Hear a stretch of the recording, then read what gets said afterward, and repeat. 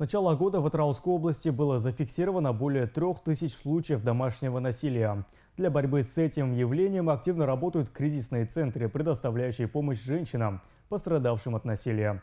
Тем не менее, статистика остается тревожной. По данным правоохранительных органов, около 75% взрослых в регионе положительно относятся к использованию телесных наказаний в воспитательных целях. В ответ на сложившуюся ситуацию в регионе проводится международная акция «16 дней против насилия». В рамках акции организуются встречи, мероприятия в общественных местах, культурных центрах и школах, направленные на повышение осведомленности и поддержку борьбы с насилием. К сожалению, в обществе среди детей есть факты лудомания, буллинга, ранняя беременность и э, злоупотребление наркотиками. Более того, к сожалению, от незнания законов никто не освобождает.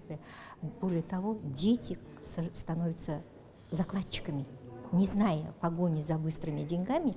И вот они свою жизнь, почти это срок 10 лет.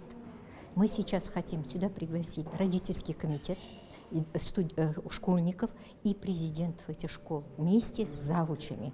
Здесь при поддержке ГАРАНО, психологов, управления внутренней э, политики, управления внутренних дел, они четко на примерах расскажут, что один факт, он зачеркнет их будущую жизнь. Не только ребенка этого, но и семьи.